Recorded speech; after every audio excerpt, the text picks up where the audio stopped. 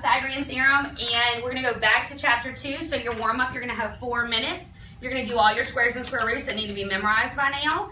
Um, it's taking you back to chapter two. We keep going back and spiraling back that way you don't forget it because we learned earlier that in chapter two we learned about exponents and square roots and all of a sudden now in Pythagorean theorem you need them again. So you're gonna have four minutes to do your warm up. Hands up. Ready?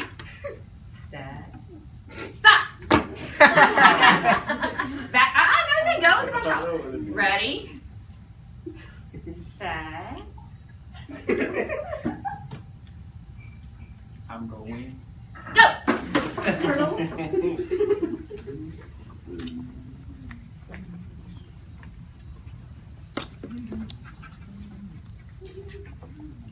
Um, let's go over our review first, which is our warm up. It's right here. You have it on your paper.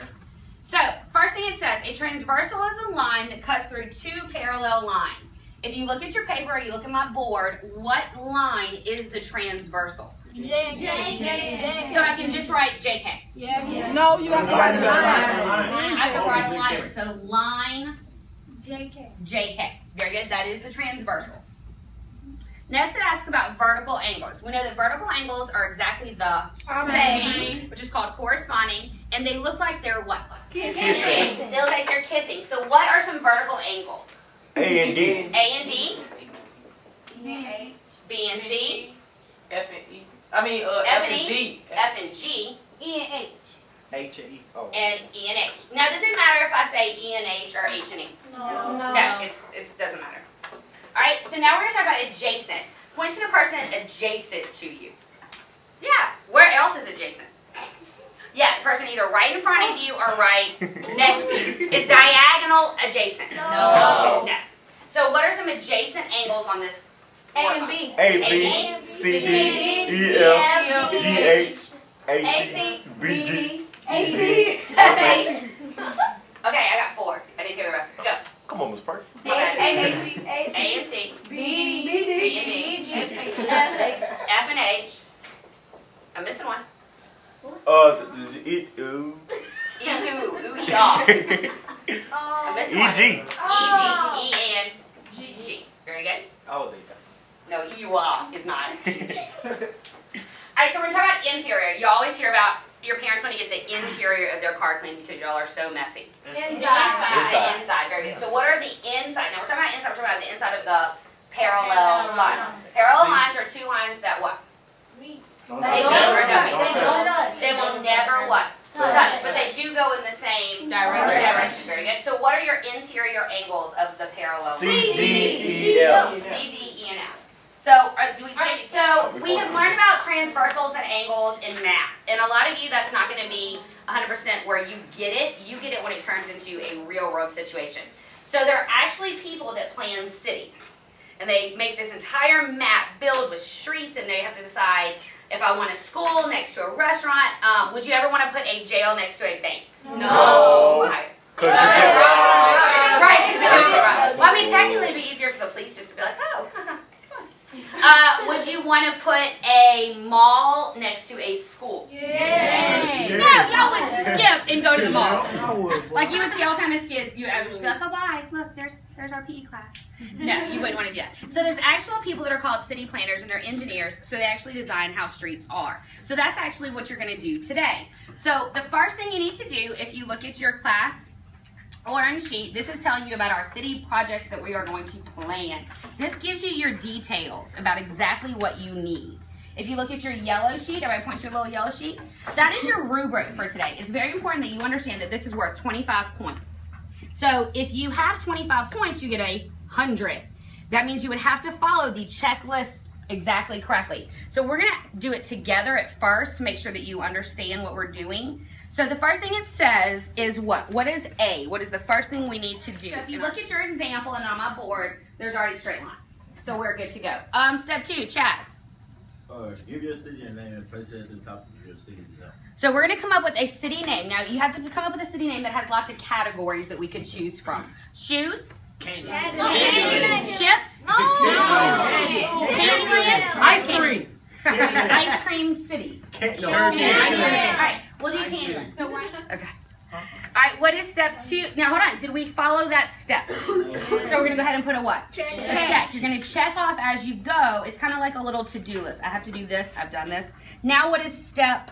The next step. Tell us to do. Tyshauna. Include the city's population underneath the city name. So can I put it over here? No. No. Over here. No. It has to go under. So we're gonna go ahead and write population. How many people do you want to live in Candyland? Twenty-five. 26. No. Okay, no. 150 people? 150 people. Okay, we'll do 150 people. That is a very small people. That is less than your eighth grade. You said a very small people. A very small amount of people. We should have put five hundred so we can get a lot of money. Man, not. He said, your city must include the following in order to receive full credit. Six parallel streets. All right. Do we have six parallel streets? Yes. Yes, because they're going in the same direction, but they will never touch. What is the important key about the six parallel streets? They Each have to be named. be named. They have to be named. So that means you'll have to come up with candy names. Snickers. All right, here we go. Here we go. One at a time. Gregory. Starbucks. Strawburst? Starburst? Yeah. Okay, let's go with Starburst. Starburst what? Avenue. Starburst and Lane. Okay? Darren. Snicker Avenue. Snickers Avenue. Okay? Y'all, it must be close to lunch because y'all are probably starving. Snickers Avenue. I got it. All right, so we completely have our six parallel lines, and they are all named with very creative names, I would add. Somebody needs to explain to Chaz what a piece of candy is. Um, so, what is our next step? Did you put your little check? Yes. All right, what is our next step? Micah. So, the first one, as a city planner, you have to think how do I want the city to look? Do I want to have people's houses right next to a gas station? No. So, so let's look at the very first thing. And Leslie, what is the very first thing? Your house and a restaurant are alternating stereo. Okay, so our house and a restaurant have to be alternating exterior. So we're gonna have to pick our house first. So you get to go first, which means you probably can't mess it up. And even if you do, we'll be here to fix it. Where would you like your house? Right by the skill. Okay, so we're gonna write an H for your house. Good job. There's an H for house. All right, so we had alternate exterior. So this is our transversal. Yes? Yes. These are our parallel lines. Alternate means it's gonna be on the what? Outside. Opposite Opposite side. And external means it's gonna be at the uh-huh, it's gonna be at the outside. So it's gonna be on this side or this side. This side. All right, so put your restaurant there. What's the name of your restaurant? Uh, Red Lock. Red Lobster. He decided he's gonna steal somebody's name and then get sued. Blue Lobster. Blue Lobster. Anything? All right, so if this is your intersection, and this is your intersection, if this is at the bottom right, where would you put it? Bottom right, because they're corresponding, which means that they would be exactly the what? Same. So, and if we look, this is vertical to this. G is an alternate interior to B. B, and then B would be vertical with this right here. So you just developed your entire city. Andre, woohoo! Yes? Yes. All right. So now I want you to actually follow the rubric, and when you follow the rubric, I'm gonna let you grade a city that I did. You can discuss it with your partner. My city is called Perkville, since my name is Perk. Very original there, huh? Uh, the population is 102. We're gonna go over this. This is my house. I chose the park and the school right here. I turned this into a flower shop. What flower is this? Magnolia. Magnolia's name of my dog. That's why I used it, right? No. No. It's our state what? What state? Yeah, so that's our state flower. Uh, this is a little similar for a diner. It's not a fan. So my last box said it looked like a fan. It's not a fan. This is a spoon. This is a fork. Uh, this is our church. This is a Gas station. library. Bank. Bank. Now, if you notice, I made the bank very far away from my house. So, following your rubric, you have exactly what you're looking for and exactly how many points it's worth. Everybody understands that? You don't need to write anything. All you need to do is, with your partner on your orange sheet, on your orange sheet, give me a grade based off of your rubric. How do you think I did? So she gets zero credit for the street. She does. She does get some points because she got parallel and transversal lines. But she don't have like the street names. So what's half of a nine?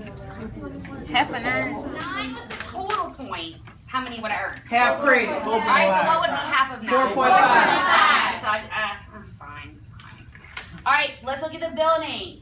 The buildings, I had to have my house and a restaurant as alter, alter, alternate exterior. Alternate exterior. Did I do that? Yes. I had to have the library and a bowling alley as alternate interior. Got it. I did- All right, so what you're gonna do now is we've done one together. You've actually graded mine. So now what do you think is gonna happen? Do your own drawing. So if I said after we do everything today, what at the end of the day should you know? What should you know how to do? Um, chat. You should know how to um do transversalize a real life situation. Oh, very good. So y'all agree with that? Yes. Is this something in real life that you think you would use? Yes. Yeah, and most of you need to go to college, get an engineer, do something to where you can get a great job. But this is something that you're going to need for the rest of your life. so what you're going to do is now you're going to do it by yourself. So on the black, the back of your blue sheet, you're going to use your yellow rubric, and if you need to look at the cheat sheet before it, but you and your partner are going to make your own city. You can come up with whatever categories you want. You can come up with shoes, chips. You may not use what? Candy, because then you wouldn't get points for what? For creativity, because that means you would be stealing my idea. You need to follow the directions.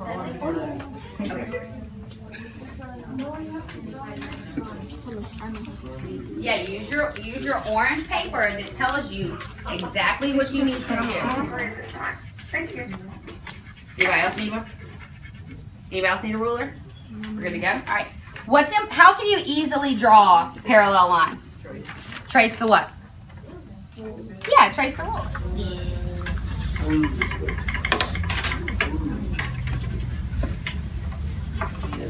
If you are trying to make it look exactly perfect, they're all going in the same direction, but you also want to make sure they're the same angles.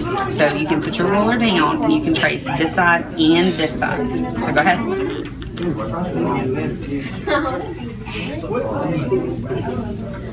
you go. It's okay. And then you put it down here, and then you do it again. To make sure that you hold your what. There you go. Okay. And then you're just gonna do that. You can fix this little part right here. All right. So let, let's see. Would you get full credit? What is the first thing on your? Name is Small City. Uh, our population is 88,000. All right. What are your parallel line names? Um, City Gear Road, Jimmy Jazz Drive, Forever 21 Lane, Hollister Court, Aeropostale Circle, Dillard's Road. All right. So you named all six of them. They're obviously all stores in the mall. And then what are your transversal names? Sears Highway, Claire's Avenue, Finish Line Boulevard. All right, and where is your alternate exterior, your house and your restaurant? You had to go over everything today. If somebody walked in that didn't know you and they said, "What did you learn in Miss Perk's math class today?" Supplementary angles. Tr- um, the T word. Transversal. Transversal. Um, complementary angles. Very good. You also learned how to take math and use it in a what? In a real life situation, which obviously for y'all is way more important than just here's a test, here's your answer.